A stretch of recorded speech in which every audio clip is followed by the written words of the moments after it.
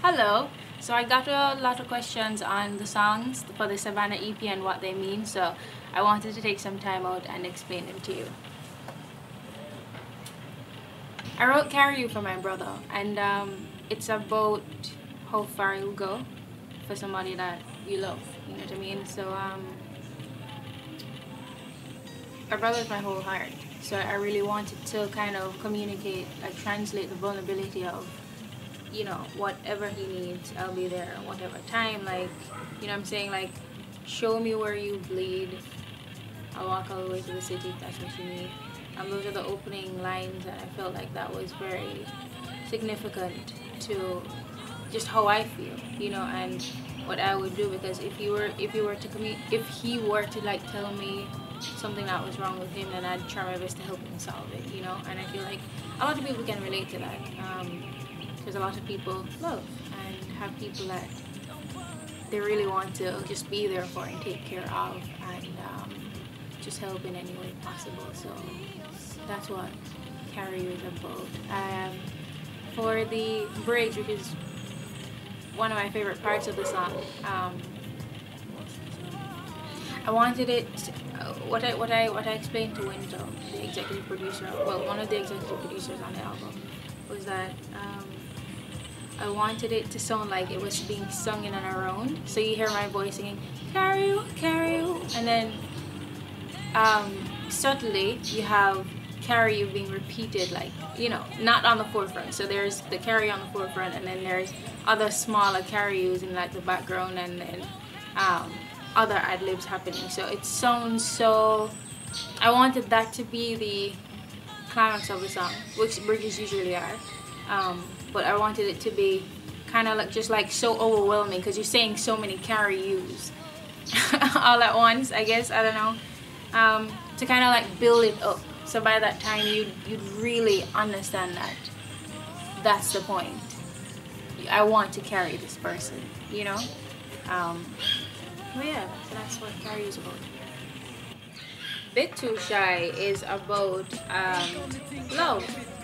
And it's actually not based off of a true story, even though it is relatable in that way. I kind of just made up the idea um, because when, when J had me listen to the rhythm, he told me that he was inspired by Gregory Isaacs' Bit Too Shy. So I just thought, what if you had a situation where the dude was shy, the girl was not so shy and she was like approaching him and like telling him basically lyricsing him so it's it's the inverse of the what usually happens um, so yeah that's what the show is about I really wanted to kind of I mean obviously it's it, it's it happens and it's it's real for some people.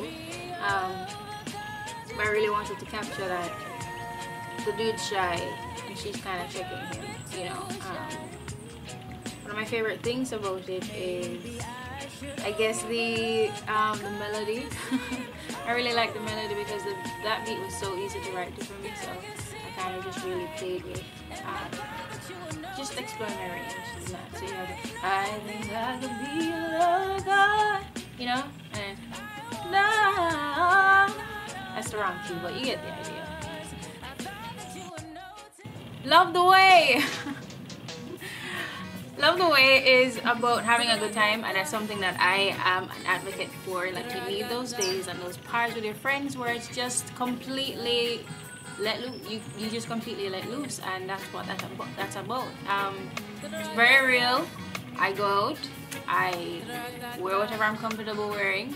I drink some white rum, I dance. It's just about having a good time, not trying to talk to me during the party because that's something I don't really like.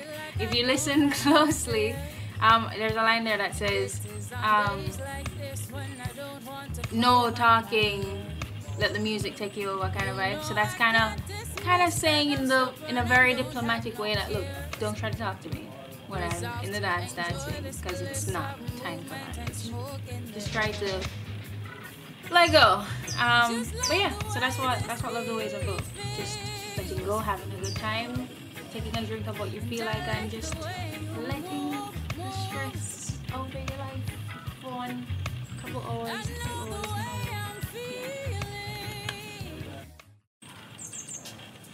I wrote Easy to Breathe to communicate the disconnect um, between the per- a, a person that might be suffering depression and a person who is kind of witnessing the depression happening to somebody else and them not really understanding that it's not so easy as smiling it way that doesn't work you know um, I actually feel like that's very dismissive so it, with the words um, the lines don't tell me to smile if you're not going to stay here with me it's kind of saying that look like you telling me to smile doesn't work um, and unless you're going to stay here with me is, is that unless you're experiencing it you know then you don't really have there's not really value that you can say to me.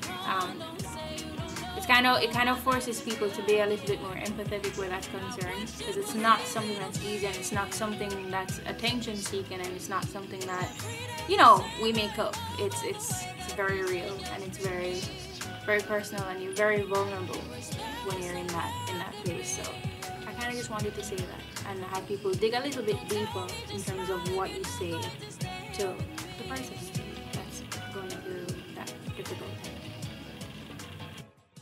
Raw is the fifth track on the EP and a lot of people are stumped by the name. They're trying to figure out like what, what is that in relation to? And it's actually um, my friend's name. Um, that's how his family spelled his name. And I wrote that song in dedication of him in honor of his memory just because I wanted to recall like the better times that we had together you know because I really did grow up with him me and my brother and him you know were very very close and that song just talks about you know the times when we used to skate down the street late at night um, be in the be in the big old playing field beside our house in South um, climbing people's trees climbing over people's fences to go take mangoes off the trees. So it's really just yeah remembering remembering him in like a happy way. Um, uh, if you if you pay attention to in the bridge it kind of gets a little bit sad where it says oh but now you're you're waving goodbye to me like in the in the in the, in the ending part of the song. So that's where you kind of hear that you know he's no longer no longer with me or no longer with us. And also in the bridge can't believe that you're gone. Can't imagine that you're gone. So yeah that's what Rahal is about so chant it now, right? I wrote chanted when I was about 19 actually. So it's it's it's an old old song and very very fairy tale like in the way that I wrote it at that time. Um, yeah, and it's just about being in love and I actually was in love, you know, at that time I believe. And yeah, I wanted to kind of it's it's just it's just expressing how I felt. You know, I kind of wanted to tell everybody I felt so good and he loved me too and you know it's kind of giddy in love so I wanted to capture that with that song. Run Go Tell a Friend. You're a four-leaf clover like such love that I found you you know? So, so I love love song